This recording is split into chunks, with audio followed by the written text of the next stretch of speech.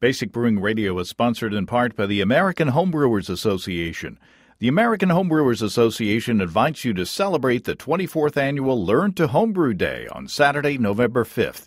Visit homebrewersassociation.org slash basicbrewing to download the official recipe for a small batch hoppy amber ale.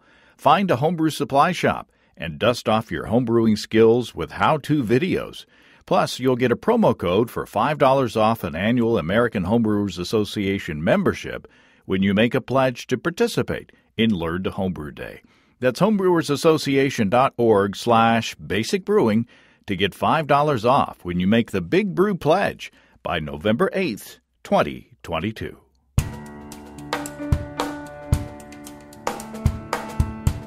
Welcome to Basic Brewing Radio for Thursday, October 13th. 2022. I'm James Spencer. Here at Basic Brewing Radio, we're all about home brewing.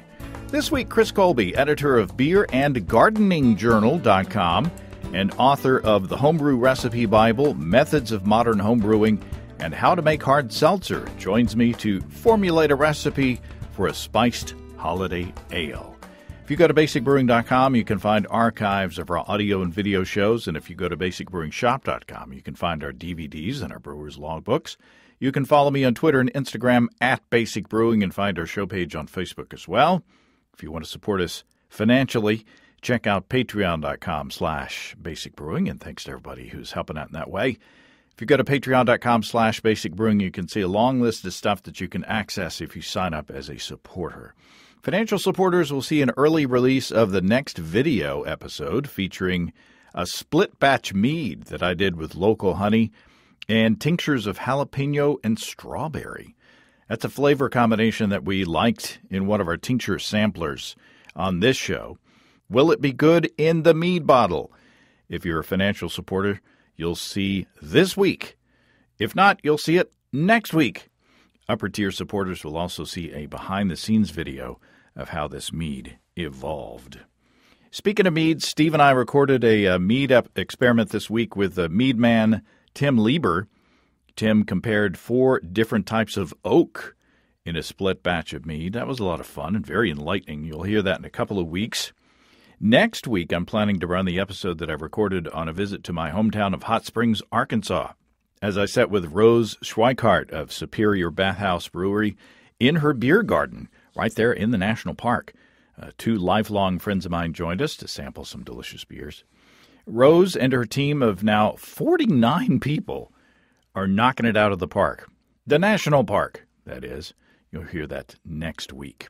I've got some good feedback after our dark tincture episode last week. Listener Bill writes Try mixing the rose hips and the hibiscus tinctures. I've had teas with this combo, then tried them individually. Each one by itself was not flavorful. The combination makes a very nice tea. By the way, rose hips are very high in vitamin C, also known as ascorbic, uh, ascorbic acid. Appreciate that, Bill.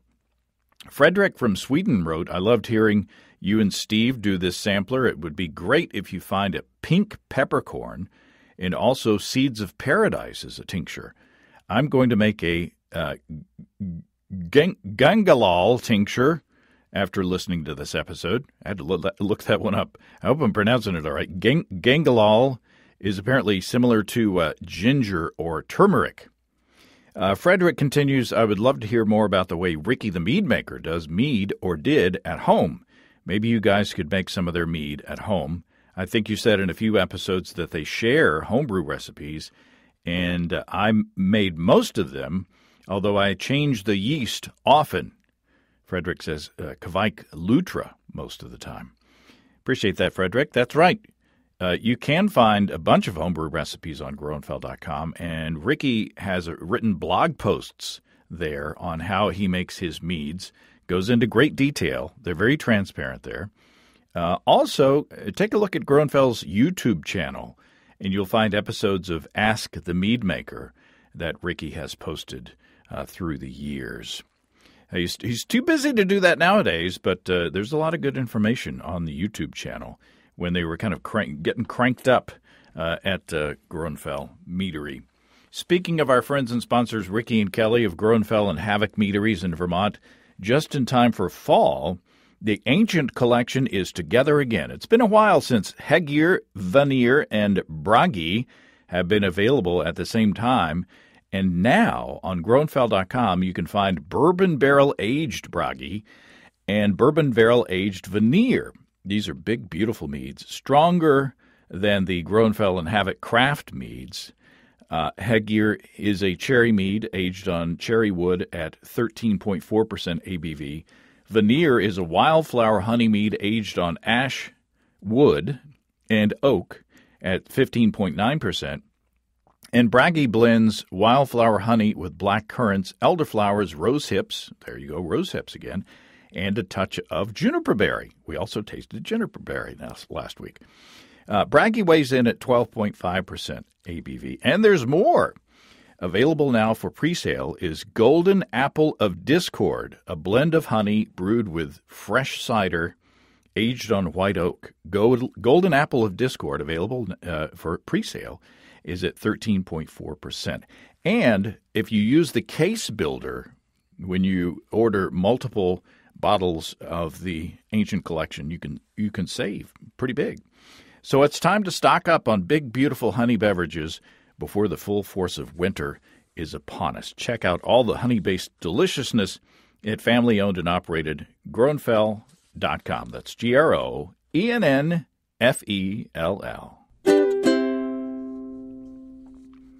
Okay, let's sit down with Chris Colby and come up with a recipe for a spiced holiday ale. Chris Colby, welcome back to Basic Brewing Radio. Hey, James. Thanks for having me on the show. We have something new to talk about. Well, so, sort of new. Uh, you uh, are the editor of beerandwinejournal.com, and you went great guns on that for a long time, and then you got involved into writing uh, books and things, and uh, kind of got d- distracted from the online stuff for a little while, but now you're back at it with a difference, with a little bit of a, of a switch. What's going on? Yes. Well, I uh uh back in the day when we started uh Beer and Wine Journal, it was going to be uh, you know, a journal of beer and wine. but uh the people who were going to contribute on the wine side just never materialized. And so it was like beer and, you know, mostly just beer journal. Uh, which was fine, but it just it had the name wine in it somehow. And so anyway, uh, I've been big into gardening recently, so I thought, well, why not beer and gardening journal?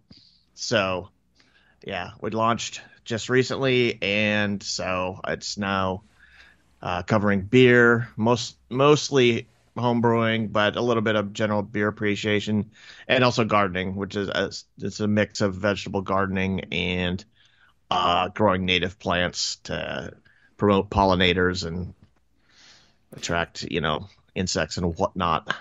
And the, in all the old articles, uh, the wealth of information, because there's just a ton of stuff uh, on the old Beer and Wine Journal uh, site, is still on there. In fact, I think it's it's worked so that if you still have you know bookmarks set for the old site, it'll still go to those pages on the new site, right? Yeah, the old site uh, just redirects to the to the new one. Yeah, so I'm looking forward to that. Looking forward to uh, to uh, what you've got planted, what you got going. You're always ambitious, especially with the container gardens and the, uh, you know, trying to raise as many monarch butterflies as you can, and and uh, planting poisonous things in your yeah in your yard. so it's so it's something for everybody. Yeah, I got I got some seeds recently for a plant that's like so poisonous that when I started reading up on it, uh, I started to reconsider like, do I want this? Because it's like uh, as, as monkshood, and it's actually it's a contact hazard. Oh, like the other the other plants, I don't, you know, because I've never had a single person come into my garden and eat any leaves, so like, you know, it just doesn't happen. But you know, contact hazard that that's different, and it's um trying to either think of if there's some place I can put it and screen it screen it off from from cats and other small dumb animals and uh, and you always you already have such good luck good luck with uh, uh, you know poison ivy poison oak things like that so oh god yeah I, uh, yeah that was super I, I still itch from that. It's been over a month. I'm serious. Not Wow. not very much. Wow. Not very much. But yeah, I uh no, it was I was like a week where it was just torture, like just driving me insane. And then it it started fading at in the second week enough that I could I could slap enough hydrocortisone cream on to uh you know start to be able to sleep through the night. And you know and nowadays it's uh it's a lot better you know like my skin's not bubbling and uh it's not not flaking off uh, like i had that happen. And uh, uh you know i can yeah i can focus on things without you know having to itch myself. But yeah just, you should if you live somewhere where poison oak and poison ivy live you should learn to identify them stay away That and more helpful tips on beer and gardening journal.com. Yeah. also, get this stuff called Tecnu. It's yeah, it it's anti uh, urushiol, the uh, the oil in uh um the oil in in poison oak and poison ivy. Ooh, there you go. Uh, I'm lucky in that I don't have to worry about that, but my, my wife is not so lucky. So, well, I, I might be I might be texting you ask, asking for that name again one day. well, we, we're not going to spend the whole time talking about skin irritation. Um, we're t- it's starting to get cooler up here uh, in Northwest Arkansas, which means it's going to be time for thinking about holiday beers. And uh, I, I, I've got a wild pumpkin, or it's not a wild pumpkin; it's a domestic pumpkin that volunteered in the front garden. Uh, and I'm I'm I'm thinking about doing like an actual pumpkin beer this year, but I'm not. We're not going to talk about that. We're going to talk about a big, uh, chewy, spiced holiday beer. And uh, are, are you a fan of this style?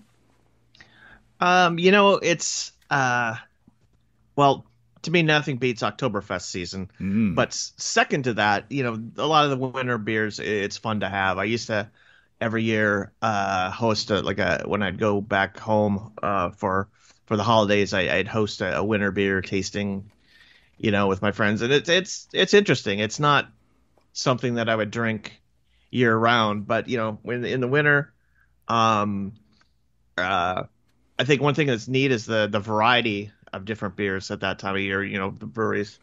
Uh, some of them make the same thing year after year. Others of them have, you know, it's a new, you know, like Anchors that has a different, uh, different formula every year, and you know they're they're interesting. I like I like generally like them.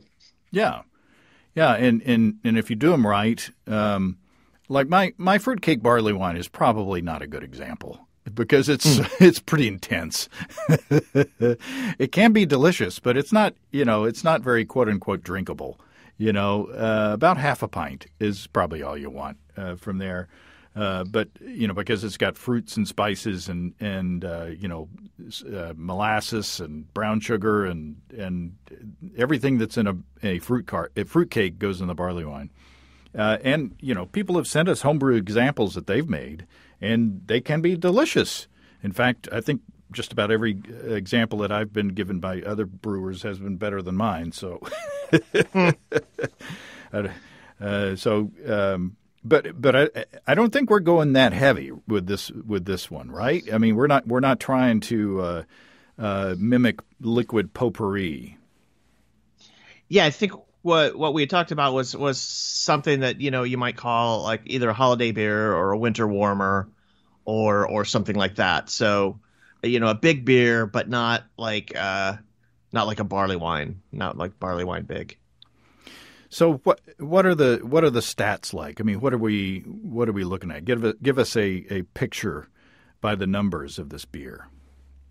Well, the the nice thing about it is you can brew, you know, whatever you want. If you look at commercial examples, uh, different holiday beers are, you know, they range from pale to dark, uh, generally a little bit stronger, uh, sometimes or probably more often than not spiced.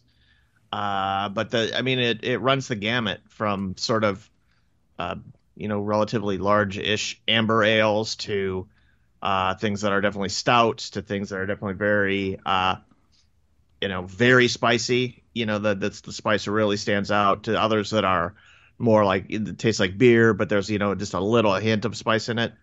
So you really, um, I, I know it's really the the sky's the limit. I mean, I think the the key defining factor would be just slightly higher alcohol than usual, like in the in the seven to eight percent range. Yeah, yeah. So we're not talking about a ten to twelve percent, you know, thick, you know, uh, uh, uh, big old um, oh Scotch ale or something like that, or uh, Scotch no, ale. or like or like Samichlaus, the uh, the heaviest or, or was once the strongest beer in the world, I, I believe, at fourteen percent, way way back when. Mhm. Uh, and that, that's a, a seasonal uh, Christmas lager. Um, but no, I, I was thinking more like uh, uh, very roughly in the uh, in you know the uh, ballpark of like an anchor Oh, okay, okay. anchor Christmas. So uh, not not quite a barley wine, but sort of a a, a younger younger more fit cousin. uh, so and I, I I'm planning to actually brew this beer. Uh, so you're you're going to go. You've got your brewing software there, uh, your your spreadsheet, and Yep. we're going to actually build this beer from scratch. Um, and let's talk about the technique. I want I, want this to be a, a two gallon batch because I you know I don't want you know five whole gallons or nineteen liters of you know something that's uh, going to wind up in the back of the fridge after the holiday season and and not get consumed. Uh, you know I want this to be something special, something fairly limited edition that maybe I can give out a few as, as Christmas presents or whatever. Uh, so let's let's shoot a target volume of of two gallons. Just two gallons. Okay, let me uh, put that in the in the gunculation device. You'd think I would know my own spreadsheet. There we go. there we go. And then, uh, what do you think for an ABV? Like eight? Eight? Is that too high for what you're thinking? Eight is great. I would say Eight is great. eight is great. Let's go. Let's go with eight. Now, what are the, what are some strategies if we're you know that's still a fairly fairly high alcohol beer, you know, so we're going to have to have a bunch of sugar to get up there. So in a batch like this, what are what's in? Re, remember, I'm doing brew in a bag. Right. Um, so what are your what would be your strategy to get that original gravity that we're looking for in that two gallon batch? I would, I, if I was using brew in a bag, I would uh, make it so you make enough wort for a one hour boil and then add malt extract Uh, to uh, rather than uh, you know for eight percent, uh, you would you would need to collect a decent amount of wort and, and boil it for a while if you wanted to uh, if you wanted to really get everything uh, that possible out of your uh, out of your grains. But um, if you you know uh, go smaller, just get get everything you can out of your grains and then just add malt extract. Uh, it's you know it's not going to be harmful on a, a beer like this. Malt extract, the one of the usual criticisms of it is that it's not. It makes wort that isn't quite as fermentable as all grain wort. Uh, but however, when you mix it with all grain wort, the, any enzymes in there are gonna are, are going to act on it. And also, this is this is a beer where we you know we aren't looking to make like a super you know it's not eight percent and super super dry. It's going to be you know uh, uh, you know not hopefully not cloyingly sweet, but you know it's gonna it's gonna finish at a at a reasonably high final gravity just because it starts at a at a high original gravity, and you know uh, if it if it's not you know just dry dry dry that's fine it's good even and I think that it, it depends on what brand of, of malt extract you use. Uh, some Yeah. are some are more fermentable than others. Uh, I think that the um, you know I'll most likely use something like a, a Briess's Pilsen Light dry malt extract, and that's that's pretty fermentable. yeah Um, so it's not something I think and I might be misremembering, but I'm thinking like the Cooper's uh, extract that I've used in the past is not as fermentable. Um, maybe I'm lying about that, but but you know keep that in mind, and maybe there's there's some stats out there on on fermentability of of different uh, malt extracts that you would use. Uh, some of those, you know, quote unquote, can and a kilo mm. kits, you know, uh, the the malt extract is not very fermentable because it's you're it's meant to be blended with sugar, uh, you know, which dries out the beer, and you know the, the balance of those two is meant to to uh, uh, you know counteract each other. Whereas if you put it in a, in an all malt beer, you know, or all malt extract beer, or mostly, then the the fermentability can be a problem. Right, right, especially with a big beer. Yeah.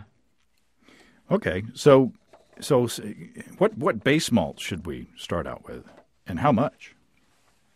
Well, I would start with the if you're going to make a, a, dark beer, I'd start with the uh, the dark grains first, and then sort of once you have that those figured, then just add the add the base malt on top to, to get where you want. Hmm. Add it up. Like I would I would start with uh, thinking about the the dark grains and specifically like, do we want to do a blend of dark grains. I, I, for some reason I always like doing a blend of them. Mm-hmm. Uh, or or do we want to just you know uh, the chocolate malt or or just some other malt? It seems like theoretically you'd get a deeper um, sort of character flavor characteristic if you did a blend. Um, whereas you know, but on the other hand, through our uh, malt sampler series, Steve and I have tasted some really good beers made with just you know a base malt and uh, you know one specialty grain on top of it or one specialty malt. You know, so you can't get too fancy, but um, is in the amount of these since it's a bigger beer, do we want to up the amount of those specialty malts? Like I say, if you're you know if you're making like a 10 percent barley wine, do you add twice as much dark uh, grains or dark dark malts as you would say a five percent beer. I don't. I mean, I think it's the, the intensity of the uh, the dark grains is going to be at least roughly the same, no matter what the uh, uh, original gravity is. Maybe you know, maybe the, the slightly bigger beers mask it a little bit bigger, but I usually go with uh, with a couple exceptions. I made a fifteen percent stout one year and uh, I went on ten percent five years before that, uh, and those had more grains, and it's it's a different kind of beer than you know it's it's like a very super roasty beer mm. if you add more. Yeah, for for winter warmer, I would add sort of in the ballpark of what you would add for like a stout or a porter. And and also with uh, when you got to think about crystal malts, uh, mm-hmm you know, you don't want to add a bunch more of those because if it's a high gravity beer, you're probably going to be finishing finishing with a higher gravity at the end anyway. And if you add a bunch more crystal malt, that's going to make it even more chewy or even sweet if you're not careful. Right, and combined with the fact that we're already going to be using some malt extract, we just don't need you know something else pushing uh, pushing the wort to be less fermentable. Um, you know, some crystal, uh, you know, a big sort of dark malty beer. Some crystal's going to be good, but I, I, would go with sort of a smaller amount of a of a more darkly kilned version than you know than like say a, like a whole pound of crystal forty or something, which right. to me would be too much. Yeah. for the five gallon, right? Whatever that scaled down to two. Right. Yeah, I think although uh, um, Matt Giovanisci did uh, brewed the American Amber Ale that he and I uh, formulated together, and he used mm-hmm. a, a, pound of crystal malt in his five gallon batch, or 450 grams in, in 19 liters, and it didn't turn out too sweet. So, um, you know, it, it just uh, I guess it just depends on on the recipe. It depends on the beer. Right, and that's starting at you know what 1048 or 1050 or you know yeah. something like that, rather yeah. than uh, ours will be if it's eight percent, it's it'll be you know around in the neighborhood of 1080 for starters. I'm going to be honest with you. I'm not planning to brew this holiday beer on my Warthog electric system from our friends and sponsors Desiree and Dave of HighGravityBrew.com. Two gallons is just too small for my half barrel system, but for five or ten gallon batches, I love to brew with my system with the Warthog EBC 130 controller. It's taken the pain out of propane for me. No more wrapping my mash tun or kettle with blankets or towels to try to maintain my mash rest temp in the wintertime. My Warthog controller holds the mash temperature rock steady, and for the boil, the winter winds no longer blow the heat away thanks to the Blichmann boil coil in my kettle. I do brew in a bag, but Dave makes Warthog systems in single, two, or three vessel configurations to fit your needs. And if you have a question or, an issue with your Warthog system, Desiree and Dave will make it right. You can contact them directly because Dave puts these things together right there at High Gravity in Tulsa. Steve and I love our Warthog systems, and you will too. And if you use the code EBC75BB, you can save 75 bucks off your Warthog purchase at family owned and operated highgravitybrew.com. That's highgravitybrew.com. So, what do we start with? How do we pick out, you know, if we're starting with the dark grains, what are your favorite ones to, to pick for something like this? For something like this, an, an obvious one would be chocolate malt. Mm-hmm. And I, w- I would go with something about like maybe maybe 11 or 12 ounces for a, a five gallon batch. So well, what would that be for two gallons?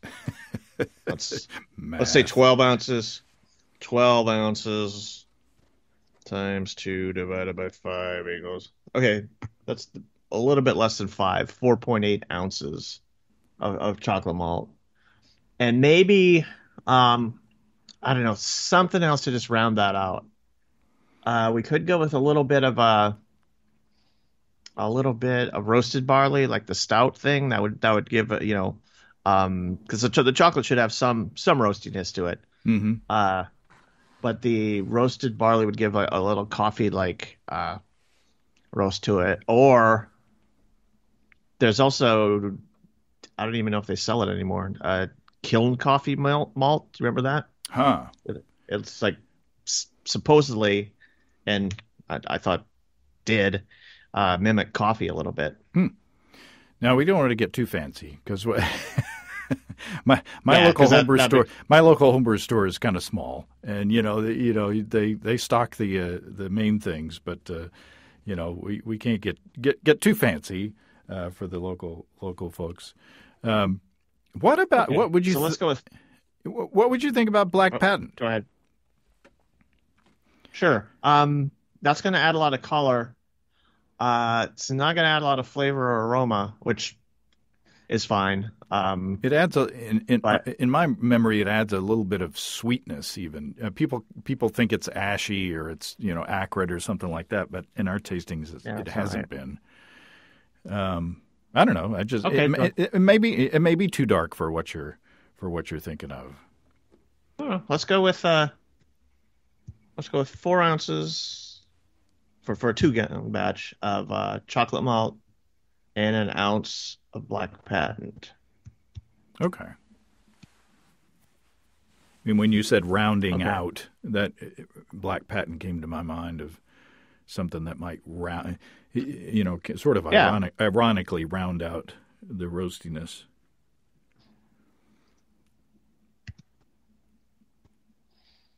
Yeah. Okay, and that gets us just those two malts alone get us to an SRM of about 30. So we're we're in the solidly in the dark beer range there.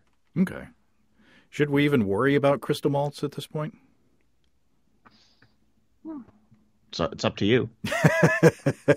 You're the one brewing it.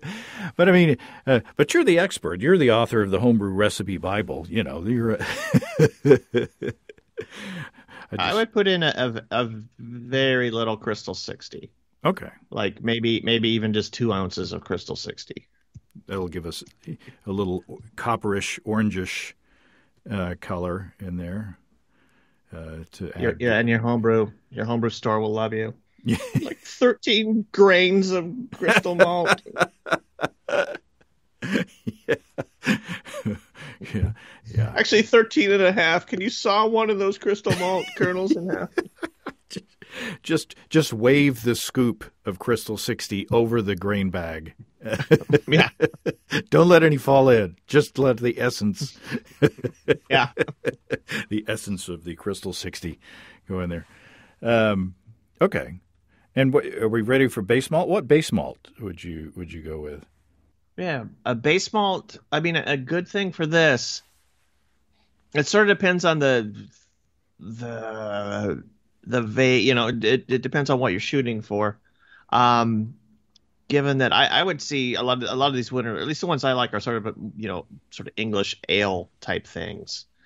So for me, like a British pale ale malt would do good, uh, or um, you know, sort of a blend of uh, Pilsner malt and some Munich. Mm. Um, either either one of those would do good, or you know, you could add a you know pale malt, Pilsner malt, something like that, and add you know either a little bit of like aromatic malt or or what's that other melanoid malt, which are you know sort of like strong Munich malts. There's there's a lot of. What about just pale ale malt? That that's great. Everyone loves pale ale malt. Sure. Now Everyone is that loves pale. now is that would would uh, Maris Otter classify as as an English pale ale malt? Yeah, uh, I mean Maris Otter is a variety of barley, and when it is malted, it's usually mal- malted into pale ale malt. Um, so yeah, Maris Otter would work. Not to be cliche. it seems like whenever I want to get fancy on the base malts, I go to the Maris Otter. Although the, uh, Matt used Maris Otter for his American Amber Ale, and it turned out really nice. It had a really nice malt character. If we add five and a half pounds, again, this is for the two gallon batch, five and a half pounds to the other malts that we already have, with uh, let's see, 75% extract efficiency. That puts us at an OG of 1084, a projected uh, at 75% attenuation, uh, but and an FG of 1.021 for uh, ABV of 8.1. That's Now- pretty good. Are you forgetting the uh, uh, the extract? Oh, I certainly am forgetting the extract. As here's the thing. Let's see how much. Do you like a pound of Briess and Light dry malt extract? If you're gonna if you're gonna make two gallons, what would your pre-boil want to be? Yeah, that's Probably a question. That's a question that I was thinking. I mean, initially I was thinking I would add a bunch more water and have to boil down, uh, but this is just kind of like a standard volume or starting volume because it's it's just going to be a you know it's it, I'm not going to have to mash with a whole bunch of of grain proportionally. Right. It looks like with the with the full five and a half pounds, you you would need a, a roughly two gallons of strike water, and then you would after mashing you would want to add more. Uh, you would want to add you know this this what passes for the sparge water. Like for a five gallon batch, I usually start out, you know, or a 19 liter batch, I usually start off with eight eight gallons of water in the mash, or 30 liters. So I don't add Wow. any more. I don't add any more water during the process. Right. So just a thin mash, and then you end up with. Okay, let me try something. I might want to get my brewer's logbook and looking at some past batches. Hey, everybody, this is James from the future. I looked at some previous uh, batches of this volume, and it looks like I started off with three and a half gallons of water, or 13.25 liters, in the kettle before I mashed in the grain. Okay, if we if we went with for for the two gallon batch, four pounds of pale ale malt, uh, the quarter pound of you know four ounces of chocolate malt, the you know like the one ounce of black patent malt, and the the two ounces of crystal malt, uh, and add a add a uh, add a pound of dried malt extract. That gets us uh, 1085 OG, 1021 final gravity, uh, and 8.2 percent. That's Oh. pretty good. Yeah. And then, yeah, you should be able to hit. Uh, you should be able to mash so that you yield about three gallons, boil it down to two, and in the last couple of minutes, uh, stir in the malt extract. Mm-hmm. Yeah. Awesome. Okay, that'll work. Yeah, that sounds good. So I'm assuming we're not we're not going to spend a lot of effort on hopping. Yeah, I mean, it's not gonna the, the style. Well, it's not really a style, but the the sort of general dark roasty winter beers aren't uh, usually. You know, there's there's not a lot of late hops in it. There's not you know a ton of hop aroma and and, fl- and flavor. Uh, they are generally, I mean, because they're a little bit stronger. Uh, they they do have some hop bitterness though. Right. So yeah, I would I would go with some sort of neutral high alpha hop, and for an eight percent beer, uh, I don't know. I would shoot for at least thirty five IBUs, maybe forty. Okay. Okay, so let's. What's a good? Uh, something like Magnum.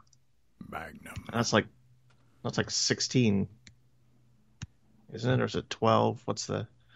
I don't know. I haven't used. I haven't used Magnum in a while. I'm just gonna put in 12, and we'll say find a find a neutral high alpha hop around 12, and there's got to be a ton of them. And for a 60, 60 minute boil. Yeah, for 60 minute boil, it looks like I always like to use whole ounces, just because I don't like little leftover bags in the freezer. okay. If you went with a third of an ounce, uh, or a little less than nine and a half grams, that gets us to 37 IBU, which Mm. is pretty good. If you and hang on, if you just dumped in the whole ounce, that gets us to a calculated of let's see, blah blah blah blah blah, roughly 100 IBUs. it's a little, it's a little much. Winter doesn't need to be that bitter. What about what about? Uh, oh, I wish I had my little bag of sots here. What about something like uh, you know, like a moderate, uh, like like a four four percent uh, alpha acid hop? I could get away with a, a whole ounce of that, right? Because I mean, proportionally, Well, let's see. I, if, I I, I'm doing so. a if I'm doing a third of an ounce of a of a twelve, Yeah, a full ounce at uh, four is, is the same IBUs calculated out. yeah, I might go that direction. Okay. Given the the wort's a little bit thicker, your you know the IBUs might be a little lower than the the straight calculation, but uh, not by a ton. So what what spices? I mean, if we if we stray too far, we'll we'll be making a pumpkin spice beer, and I know how everybody loves those. Uh, but uh, I was I was thinking I this I was reaching for stuff in the uh, pantry today, and I saw some some Old Bay seasoning, and I was like, huh. Wonder what that would be like in a beer. Is it? I'm not. I don't know if I'm familiar with bay seasoning. Isn't that like spicy? It's Like, a it- well, it's, hot spicy. it's it's usually used in like seafood, um, you know, Old Bay seasoning for like crab, Oh, okay, crab yeah, boils and stuff. Oh yeah, I know crab boil seasoning. Yeah, that that would be interesting. I mean, uh, uh, that would be a beer that people either loved or hated. I don't know. I might smell it and see what uh, see what we're talking about. But what I, guess it depends on what what spices uh, I would choose. But first of all, where where would you add spices in the in the process? Well, that's a good question, uh, and a, a little bit dependent on what the spice was. I mean, uh, the the two best choices are add it right at the end of the boil. Um, then you you know you volatilize the uh, a lot of those essential oils in there, but you don't uh, blow them completely off. Um, uh, so they're they they're in the wort. Uh, the second option, and, and one that I prefer generally, is adding it after fermentation. Mm. Um, you can take take like an empty an old empty spice jar, uh, if it's glass, and wash it out really good, and put whatever spice you want to uh, you want to use in the in the beer in there, and then just pour vodka over it and let it sit for about three days, Oh, and then you make like a tincture, yeah. and you can. The nice thing about this is you can, you know, depending on how technical you want, you can like take a pint of your your beer and like add, uh, you know, drop by drop to the uh, to to the pint of beer, and then you know when you get to a point where yeah, I like that spicing level, you, then you have, you know, a, a drop, which is uh, I forget it's a standard size though, uh, you know, that many drops in that many ounces of, of beer, and then you know you calculate well, how much would I need to to dose my full, uh, you know, full amount of beer. Yeah, Min- Steve and minus I, the pint that you pulled out. Steve and I have been doing a lot of work with tinctures lately, and we've got these these little the little plastic pipettes, you know, where Oh, you can, nice. where Yeah. you can like measure, you know, up to three milliliters. Um, and I actually used that technique to um, to flavor a mead uh, for an upcoming video video show, and uh, I used uh, a bit of jalapeno tincture and a bit of strawberry tincture in that same mead. And what I did was, uh, you know, at, at bottling time, it was a small batch, so I had it my little Mister Beer, you know, plastic keg fermenter. But I took, you know, and and just squirted, squirted tincture in there until I thought it was good enough, and I stirred it around, and I gave it a little taste, and uh, you know, I added, up, I, I wound up adding a lot more strawberry than I did the uh, jalapeno, obviously.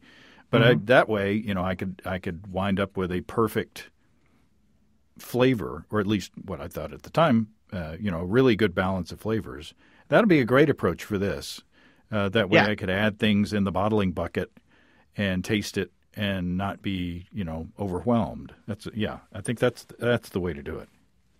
Yeah, definitely. Um, I mean, it's you can add spices to the boil, um, but once you once you do that, it's your your level of spicing is set. Mhm. Yeah, you ca- you could add more if you wanted later, but you can't take any away. And with the with the post ferment, you can't take it away once you've added it, but you can you can figure out how much you know this this much uh, tincture to this much of a of a beer you know gives you know what level of flavor you want, and, And then and, what we what we may want to do, Steve and I may want to do like a holiday spice tincture show if we haven't already. I'll have to.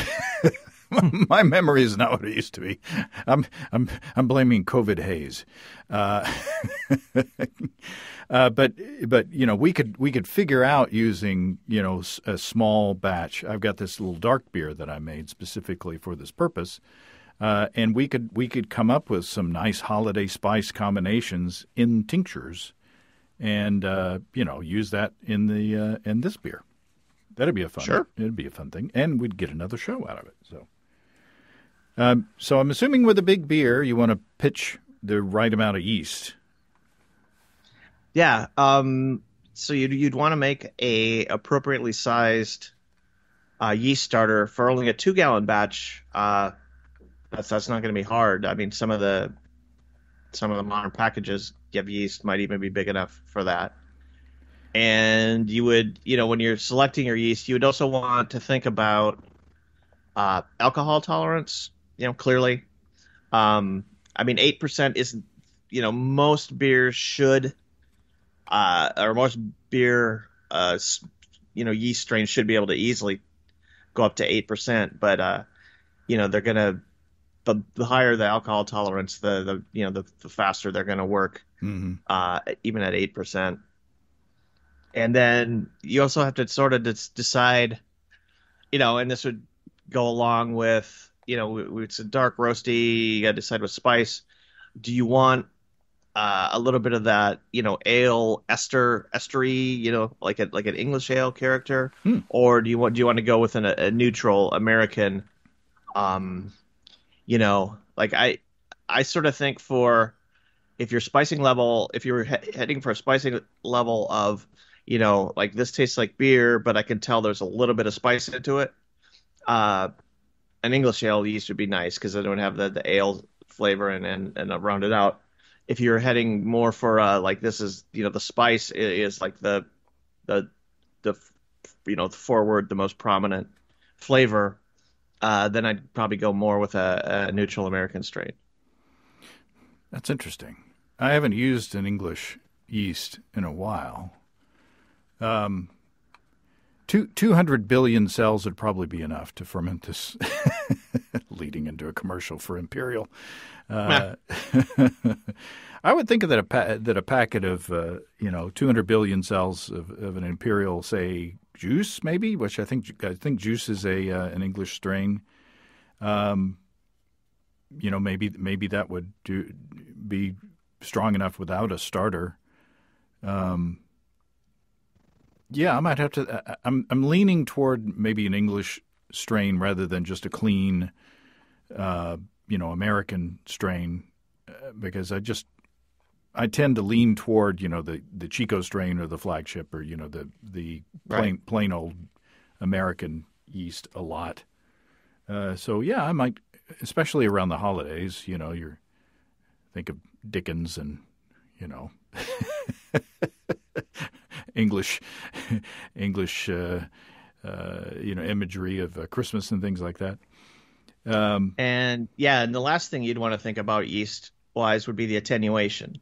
Like uh, there are, uh, you know, English ale yeasts sort of run the gamut from from very very dry, like you know the the strains that are re- reputedly you know from derived from the the Whitbread strain make fairly dry beers, uh, and whereas like the the strains that are you know reputedly from Fuller's, uh, you know make beautiful beers, but they they quit quit fermenting and drop out a little bit earlier, leaving a slightly higher uh, uh, finishing gravity. So you might want one. It's either either sort of normal, quote unquote, normal attenuation, or even a slightly slightly drier. Hmm.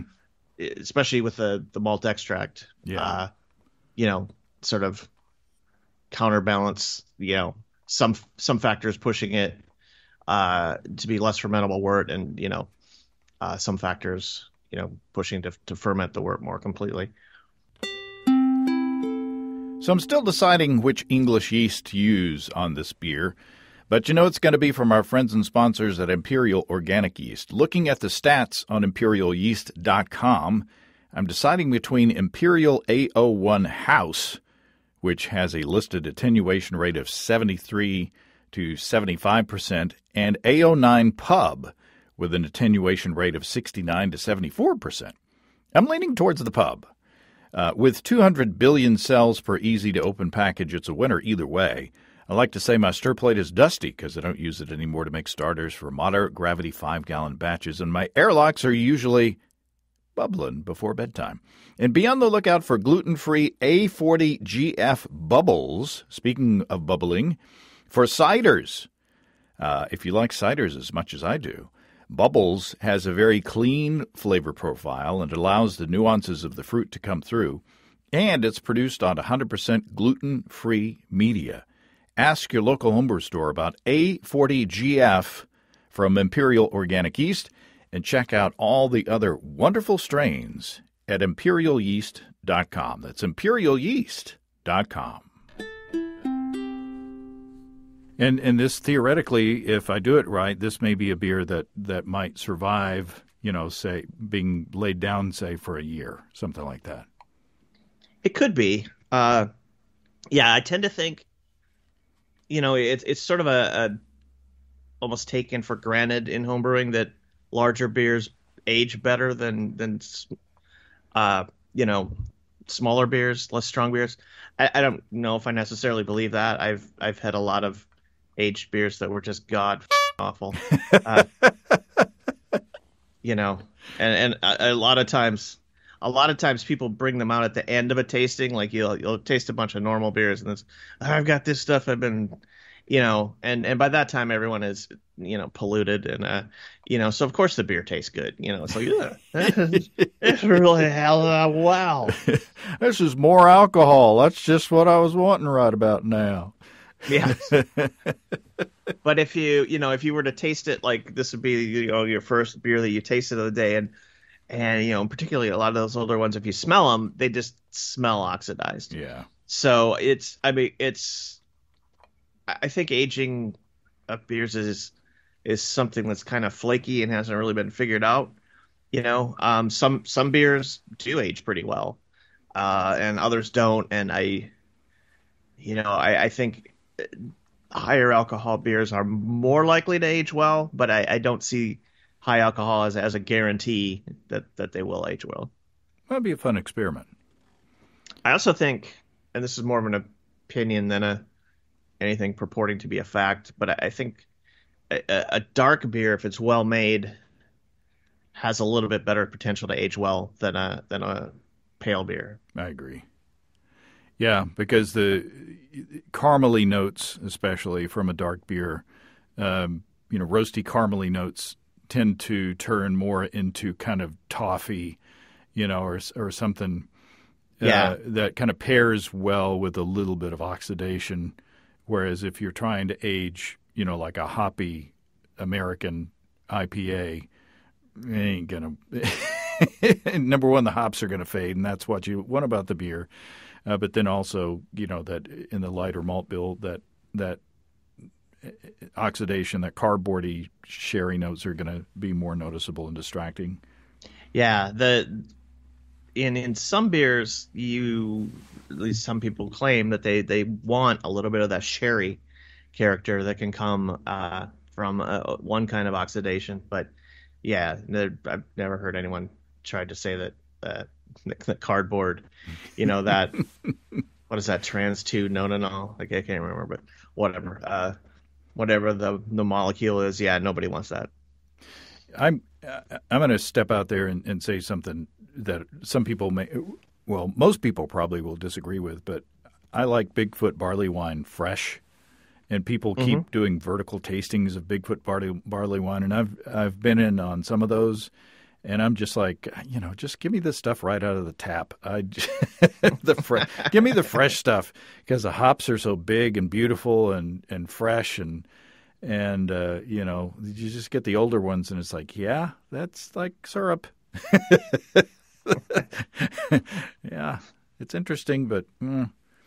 anyway, that's that's my unpopular. Yeah, I've I, have i have had some uh, uh, some barley wine verticals, and specifically Bigfoot, and it's it's kind of amazing how. And then also sometimes I think these verticals were composed of different people bringing different beers from different, so the storage might have differed. Mm, yeah. But but sometimes something can be a few years old, and you're like, hey, that's still pretty good, you know. And then the year younger, which you would you would think would be even better because it's a little bit you're, you're just like, ooh, that's that's done. put a put a fork in it. That's yeah, that's no good. Maybe shouldn't have kept that in your trunk. yeah, yeah, especially in Texas. Yeah, so, so, it spent the whole summer at like 140 degrees. I wanted to make sure around. nobody drank it, so I kept it in my yeah. trunk. Back to my pickup. I hid it in the engine compartment. Well, all right. What what else? Is there anything else that? Uh, and you can you can send me. Can you send me the recipe? Or I guess I, I could transcribe it from the uh, thing, but that you know it'd be too much work for me. It's got it right on my little gonkulator here. yeah, uh, about the only thing I would say, I used to judge when I when I was a homebrew judge frequently.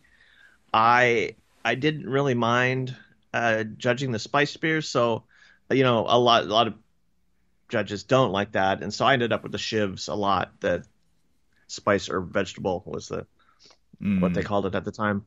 And one thing I would say from from brewing or tasting a lot of those is that the ones that had a laundry list of spices almost always just tasted muddled and gross. Oh, okay. like um, I would really say if you're gonna if you're gonna make a spiced beer, stick either with you know like a, a single spice can be awesome. You know, like in a in a winter warmer, something like a, just a hint of cinnamon Mm-hmm. uh, can be really good. Or if, if you don't go with a single spice, at least pick a combo that shows up somewhere in cooking. Like, you know, uh, don't just go to your, you know, your spice cabinet or your wife's spice cabinet and and just start dumping things in.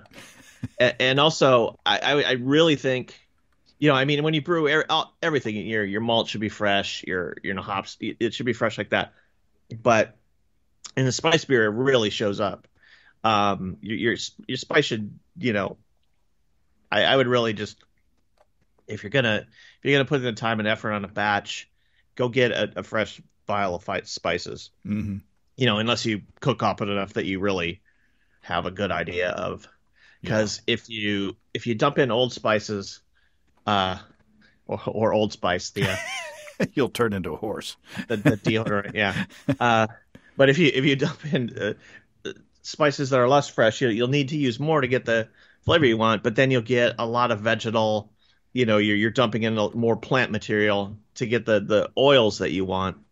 And so pick something that's uh, you know as fresh as possible and use as little of it as you you can, rather than you know you know using rather than using you know uh two teaspoons of something that's old, try to use one teaspoon of something that's you know fresh, Yeah. and you're, you're going to be much much happier. Good advice. Well, all right. I'd say, yeah, like I say, I'm gonna I'm gonna brew this up, and then when I when I do, I'll if it's good, I'll send you some, Cool. and if it's bad, I'll send you all of it. Yeah. Thanks for formulating a crappy beer, Chris. This is for you. Yeah. Take this to your homebrew club meeting. yeah.